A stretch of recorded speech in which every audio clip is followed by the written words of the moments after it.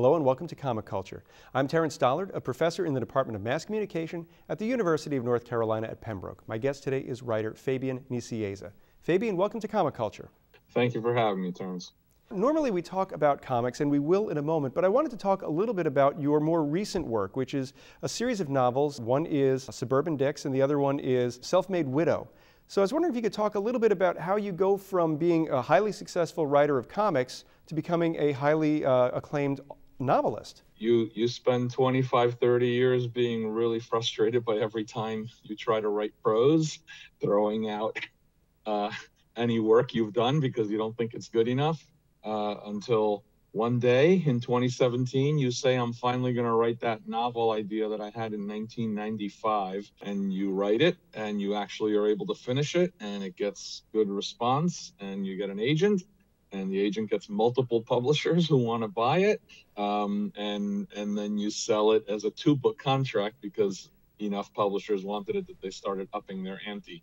Um, so it was a pretty fun roller coaster ride uh, for a couple of years there, um, and and it was very very rewarding and validating to to not only just finally finish a manuscript, but then to have it uh, be published by uh, you know a, a major hardcover uh, publishing company that I happen to have worked for from 1983 to 1985, um, and, and, then have it get the the kind of review response and the accolades that it got. Uh, it was nominated for an Edgar Award. Uh, by the Mystery Writers of America as best first novel by an American author. Uh, I'm not used to that kind of, um, let's call it respect. um, so, so it was it was pretty pretty pleasing to to get. Now, it's, it's funny that you talk about having um, some doubt about your abilities to write prose because writing comics, you're writing story, and granted, it's a collaborative effort where your uh, artistic partner is bearing a lot of the, the storytelling weight, but you know, you're still there designing the story, coming up with the arcs.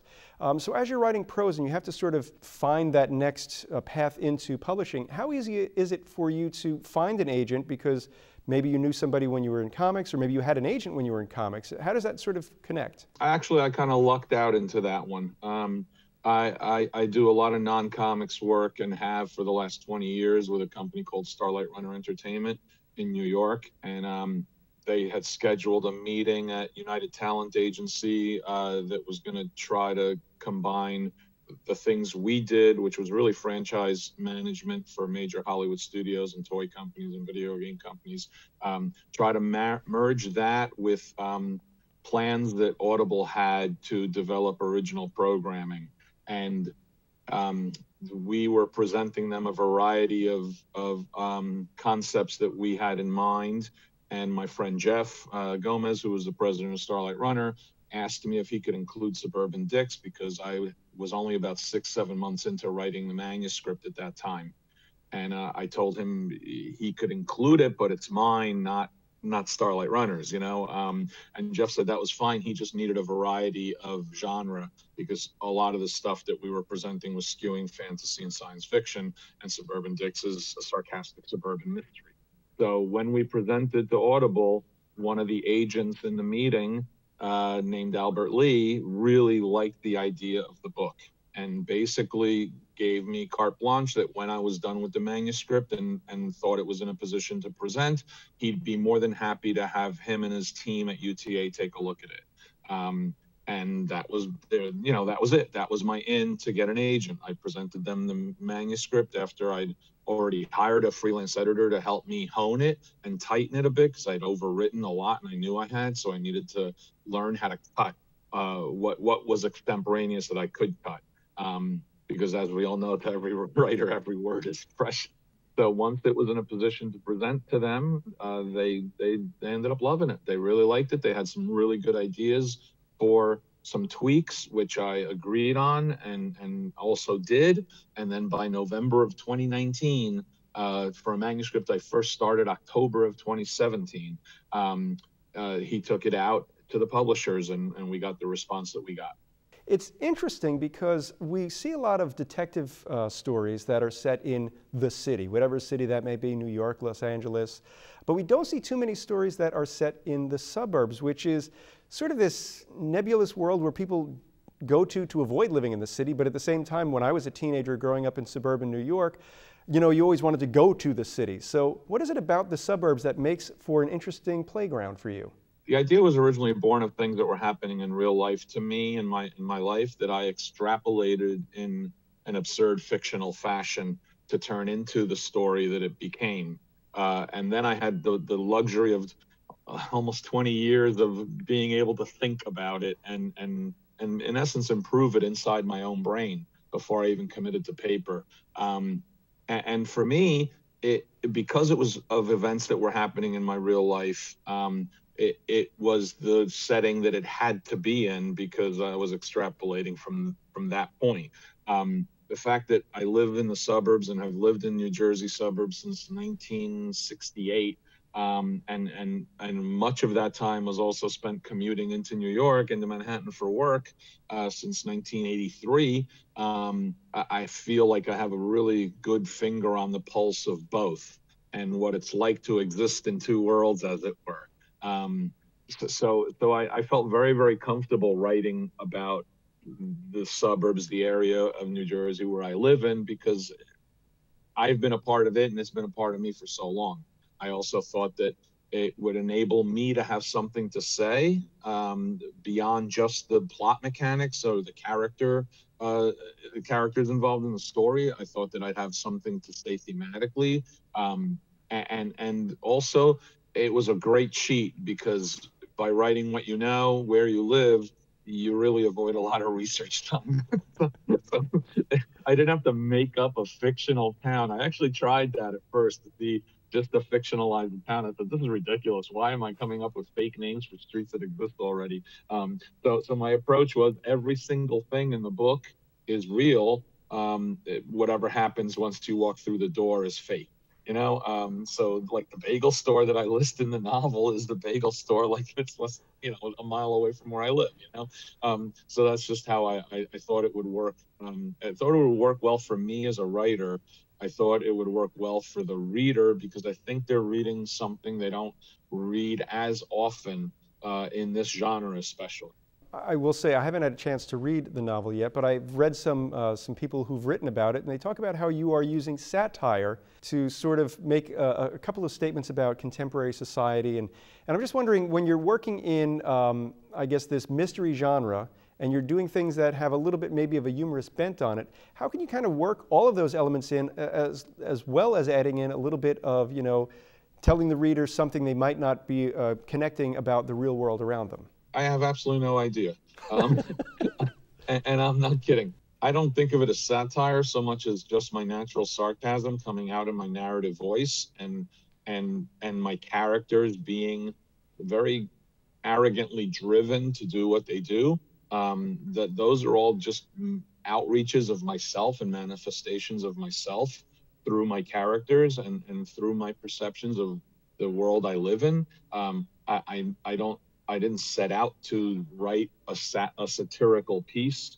Um, uh, I set out to write a story about two people trying to solve a crime uh, uh in the suburbs. And and in the meantime, I'm always going to try to have something to say because even even within the most innocuous of, of, comic book writing that I may have done, I've always tried to have something there, an underlying message there, uh, something that make the reader think a little bit. Um, oftentimes, make them think that the story, the story's viewpoint falls on a spectrum that's contrary to my own actual viewpoint, because that was what works for the characters of the story.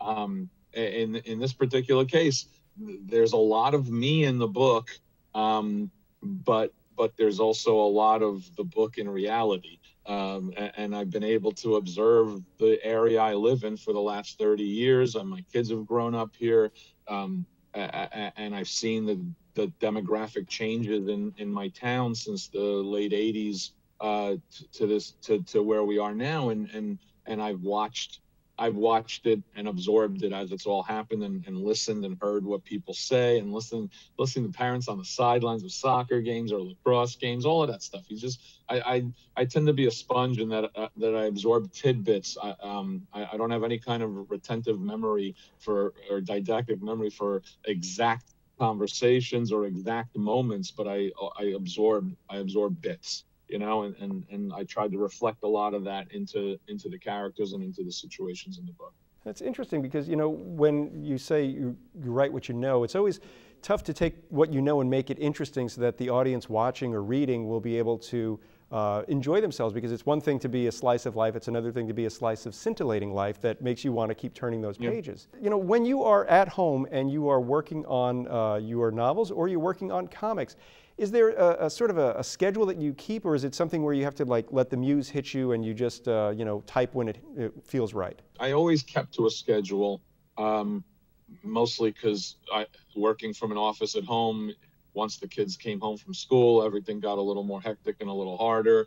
Uh, plus, I I, I was coaching two of their soccer teams and they had all this and that going on all week long like we all do. Um, so so I, I, tried to stick to an 8.30 to, to 3.34 schedule for a long time but that's all done now because they're older they're adults now and, and i don't have to i'm on my own schedule.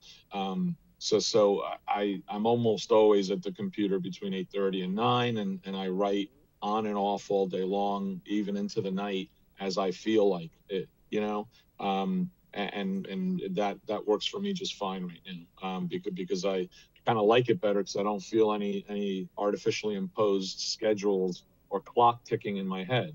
Um, if if I if I'm not if, if I don't feel it at 11 o'clock in the morning, I can watch a half hour of Welcome to Wrexham.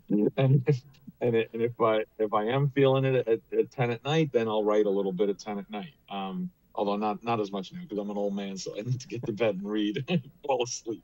Um, but so so I, I kind of like I kind of like not having that that set schedule, but but for many many years I did. And I'm uh, look, I'm a product of having worked a nine to five job at Marvel Comics with a, a three hour daily round trip commute. Um, and and at one point I was writing six monthly titles for Marvel on top of my full time job and my commute. so I, I, I became um, by by by lack of preference, but by by force of design, I just became uh, a typing machine whenever I needed to be a typing machine. Uh, there are there are pages from a comic book out there somewhere uh, that I typed the script for while I was in an emergency room hospital in New York City because I dislocated my finger uh, during warm-ups before a softball game, and I walked four blocks to the hospital, sat in the waiting room for hours uh, with an ice bag on my hand and typing with my left hand because my right hand had had one, one this finger was pointing this way.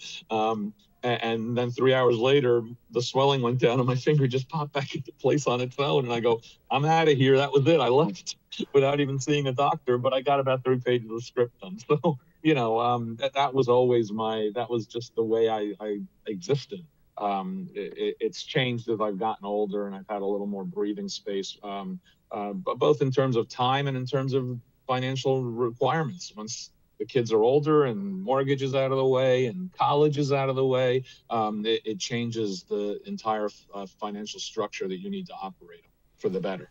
and I've got to say, writing six monthly books as well as uh, working uh, administratively at Marvel, that's uh, uh, a, a, measure of um, discipline that you can't quite uh, teach someone. So, you know, as you're sitting there in the emergency room and typing up three pages of story, are you ever thinking to yourself, you know what, this might not be the career for me? No, not at all. No. if anything, I was thinking there's a good likelihood that my heart is going to explode by the time I'm 35. So I better get as much work in done now while I can. I better write as much as I possibly can before my heart explodes at 35. Um, so yeah, no, the, the for me for me the pressure the pressure and it was a tremendous amount of pressure back then not the least of which because you're working on you know some of the top selling titles in the industry and you have a new ownership that are a bunch of absolute bastards. Whoop am i allowed to say bastards? So sorry i just did. Who um who who force financial expectations out of the company that is very challenging to meet uh, and make. And then once you make and exceed them, then they they just double up on it and they want that much more. Uh, so thank you, scumbag billionaire Ron Perelman. Um, so so um, that you know, I guess in a way, I feel good that I. I I was forged in a crucible of fire, as it were, and, and, and I was able to to um, come to terms with my relative excellent mediocrity, uh, which has been like the manifestation of pretty much my entire career. So, so I'm good to go.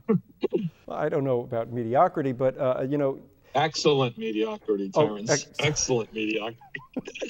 if we switch back to comics a, a, little bit now, you know, you are the co-creator of Deadpool, which is a character that has taken on a life once you left and, and once he became a, a media sensation in, in, two films. And Ryan Reynolds, of course, is uh, known, I guess, best for that role. Um, so when you're working on a, a monthly book and you've got to come up with the villain of the month, is there ever the expectation that, you know, this guy's really going to be the one that hits and for the next 30 plus years, he's going to be, you know, a runaway train success? No, I mean, Stan, Stan Lee's on the record saying that he didn't think the books were going to be around five years later when they started Spider-Man and Fantastic Four and all that. So you, you, anybody who says otherwise is really just pretending. You, you don't expect that anything is going to have longevity, but you also can get a sense that you you got you got something right or you put your finger on something that that clicks or works and we knew with deadpool right right off the bat immediately that we had put our finger on something that clicked just because the reader response was so positive, so positive to the point that just a few months after his first appearance, he was one of five promotional trading cards uh, that appeared at bagged in X Force number one. If we didn't, if we didn't get a feeling that there was something there, we wouldn't have done that already that quickly. So, yes, the character actually ebbed and flowed quite a bit over the course of many years. You know, um, I, I, cast Ryan Reynolds as Deadpool in Cable and Deadpool number two, and that was, was published in 2004. That book was only selling 30,000 copies a month, right? 35,000 a month. So it wasn't even one of Marvel's higher selling books. Um, but but it, it, look, it's that book that got a plucky little Canadian boy to say, "Hey, I can play this character one day. Let me let me sign up for a supporting role in this god awful Wolverine Origins movie, and one day I'll be able to buy a gin company and a phone company and a soccer team." Um, so you know, you, you you never know what's going to happen. I certainly wasn't thinking you know, about Ryan's ability to buy a gin company when I was scripting, you know, New Mutants 98. I was thinking I got to get seven pages of script written overnight because the book is due tomorrow and I just got the pages that afternoon. So the, the, the first script for that Deadpool ever appeared in was actually handwritten on a spiral notebook binder on the train between Manhattan and New Jersey because I had to transcribe it to my computer once I got home. So that's where the first script existed. My, my own longhand uh, on the notebook, which I still have to this day. you know, with the, the way memorabilia is going, that that could be uh, that could be a beach house in Boca someday. Well, uh, we're holding on to it for Christie's. We'll see. we'll see. We'll see what happens. so when you're working with an artist like Rob, uh, and and it's it's the heady days of Marvel in the 90s when things are selling ridiculously large numbers. Is this still that, that sort of Marvel style where the two of you just talk about what's going to happen this, this month and Rob goes out and, and draws something? Or is it no, something it where wasn't, got... that book wasn't that case at all because that book was an odd structure because Rob was plotting and penciling the book. I was scripting the book off of Rob's plots the Rob was basically promoted to be able to tell the stories he wanted to tell with these characters because he had brought so much energy, excitement, and increased sales to New Mutants.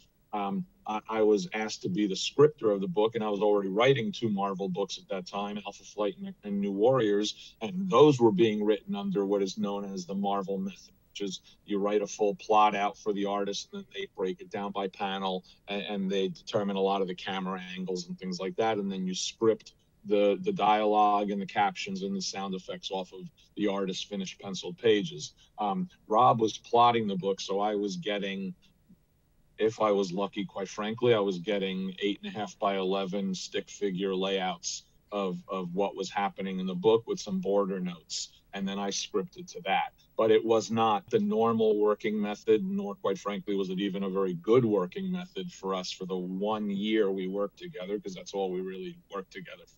Here. And when you are working with a, an artist, uh, like let's say uh, Kevin Maguire, somebody whose, whose strength is that sort of great body language, the facial expressions, the person who can bring out those human elements in these four color characters. Uh, are you sort of working with, with the artist's strength to bring out the best in the story, or, or are you kind of coming with the story and hoping that the artist will rise to your level? You should be working to the artist's strengths. Kevin's a, another interesting example you cite because um, he and I have been friends. We were roommates for a year. He, we were, we've been friends for, for, for 40. My God, it's been 40 years. Yes, almost. um, and, and, um, and we, we worked very loosely together where we developed the story together and built it together. So I, I rarely would give him a full plot. I would really give him an outline and then we talk all that through. Um, and we've worked together a few times and we almost have always worked under that kind of a method. But let's say Mark Bagley or Patrick Zircher, artists I've worked with on New Warriors and Thunderbolts, they get a plot from me. And that plot is broken down usually by page with rough information about what I want visually and what, what I want verbally in it. And then and then we'll talk it through and then they they they run with it. You get to the point where you're so simpatico with an artist on a monthly book that sometimes you don't even need to talk it through because they know what you're looking for and you know what they're going to give you you know? So sometimes the longer you work with an artist the, the easier it gets to communicate and uh, sometimes that means very little communication at all because you, you've got that worked out. Other times you're working you're writing a plot or nowadays it's a full script and you don't even know who the artist is going to be when you're writing it but you can't play an artist's strengths if you don't know who it is. So that that's happening more and more now. The way that the way Marvel and DC are assigning uh, art art responsibilities on books. Uh, oftentimes they don't know who they're who what player is available to to, to pinch hit or go to bat um, until until after the script has already been done. I just wrote the first two chapters of a Deadpool digital comic for Marvel Unlimited just a couple weeks ago, and I didn't know who the artist was going to be when I was writing it.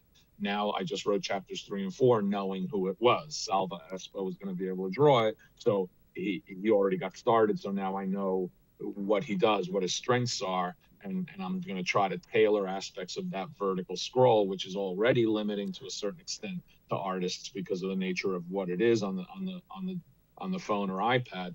Um, I, now I can try to tailor some of that to to Salva's strengths. It's interesting. Digital comics are a strange new world for uh, those of us who are used to being able to, on a 10 by 15 you know board, uh, have a panoramic shot or have a you know a tight close-up. Now with that that scroll on a phone, you, you really have to limit that element in the story, or at least try and find a way to make it work on the phone. Is that something that you really hard, really hard to make Superman go up, up and away when you're scrolling downwards? Um, I, I have been doing this now over five years because I've been working on Outrage for Webtoon since late 2017, I think it was. I also had done a lot of digital comics before that uh, on a completely different non comics venture. So that was a horizontal scroll. So I was figuring stuff out back then too. I was very fortunate in that I, I worked with Riley Brown, who's one of the smartest and most experienced um, artists at, at, at laying out stories for horizontal scroll digital comics to the point where Marvel was hiring him to do layouts for other artists to take advantage of the strengths of horizontal comics. And Riley and I worked on a Deadpool cable horizontal digital comic for Marvel like six years ago, I think. So when, by the time we got to Outrage, it, the vertical scroll was just an interesting new experiment for us, and we had to figure it out. And actually, it took us, you know, six, seven chapters to really understand the strength of the the, the platform and frankly, the strength of the platform are a lot of good talking heads. Talking heads work great on a vertical scroll comic. Fighting and flying don't work so much. Uh, diving down underwater, that works well. So I'm hoping one day I get to write a Namor vertical scroll comic because then I could just write 20 panels of him diving down and the artist can just draw that. Um, it, it, it's, a, it's actually really interesting, entertaining, and fun to figure out the strengths. Um, one thing we learned from Outrage is that yes, talking heads work great on vertical scroll comics. It, it's the it's the equivalent of pacing and editing a really smartly filmed scene in a movie or a TV show with three four characters all talking to each other at the same time. You know, uh, and the vertical scroll format allows for. It. If there's a way that the folks watching at home uh, wanted to find out more about your projects and what you're doing, is there a spot on the web they can find you? I have an author website, which is fabiannicieza.com. I hope one day it'll be the most misspelled URL on the planet. Um, you can always get me on DMs on Twitter uh, or, or, on Facebook. I keep both open and, and have rarely had to block idiots before, uh, but I block real quickly if you're an idiot. Um, so, so I can always be reached easily through Twitter or Facebook you can also email me anytime you want through my author website because there's a contact portal on that as well. All right, well, Fabian, I want to thank you so much for taking time out of your schedule to talk with me today. The half hour has been fun and it's just flown by. My pleasure, Terence. It's been a lot of fun. I'd like to thank everyone at home for watching Comic Culture. We will see you again soon.